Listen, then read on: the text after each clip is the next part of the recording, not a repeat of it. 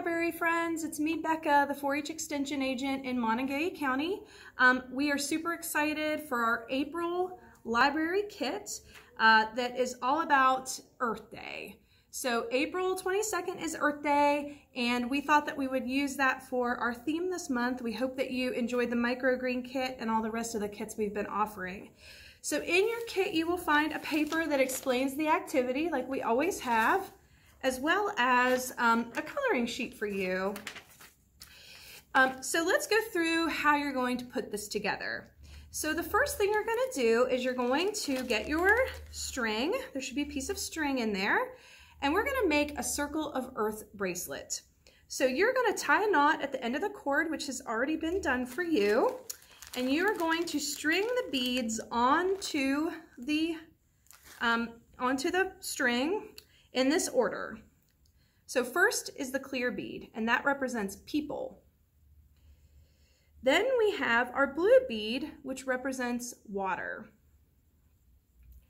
Next we have our green bead that represents plants, followed by our brown bead that represents soil, our red bead that represents day, our black bead that represents night, our white bead that represents air, and finally our yellow bead that represents, what do you think? The sun, right? So then all I'm gonna do is I'm gonna have a helper help me um, whenever I have somebody close to me and they can help me tie this on my wrist and this really nice um, bracelet. So let's talk about the earth. The earth provides us with all we need to survive. We must take care of our most valuable resources. So the beads, like I told you, represent different things. Water is a circle. Water rains on the land it collects in oceans, rivers, lakes, and streams. It evaporates, rises into the sky, and collects in clouds. The clouds become heavy with water and rain falls down to the land again. So that's our water bead. I skipped one though, the people bead.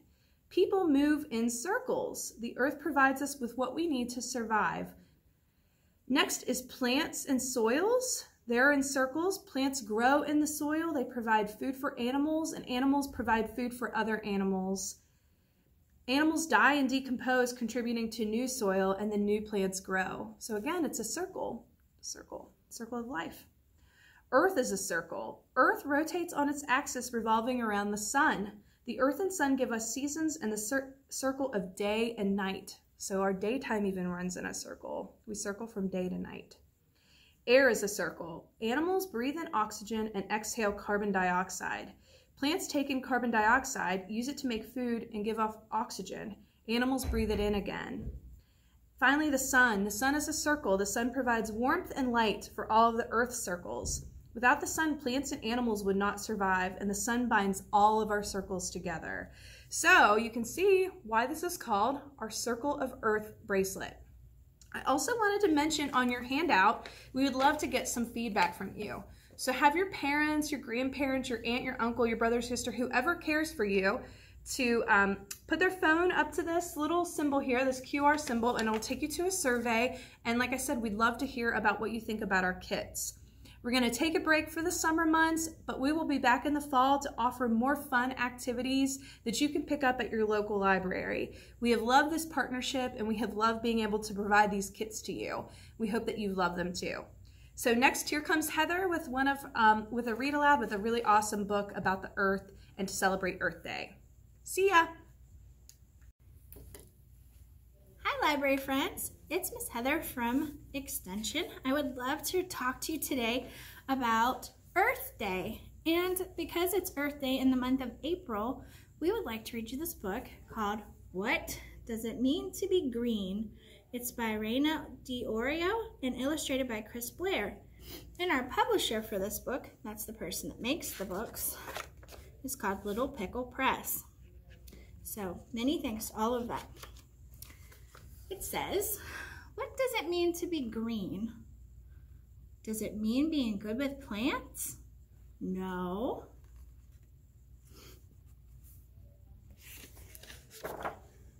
Does it mean feeling sick in a car? No. Does it mean looking like a frog or a pickle or an alien? No. Being green means turning the lights on in your home only when you need them. So look at the picture. It's really sunny outside. Maybe you don't need the lamp. Eating foods grown locally or even from your own garden, walking to the park instead of getting in a, uh, going for a ride in your car, packing your lunch in containers you bring from home every day, enjoying your ice cream in a cone rather than a paper cup with a plastic spoon.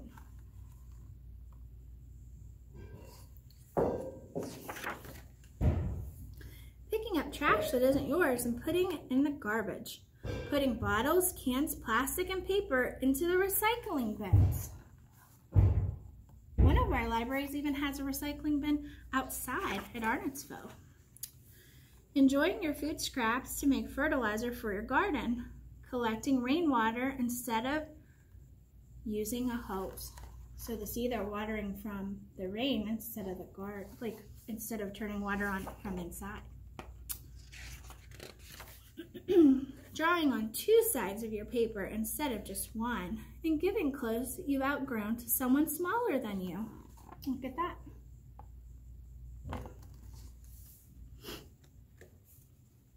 That dog looks confused. Did you see that in the picture? He's like, uh, I don't think that'll fit. Silly dog.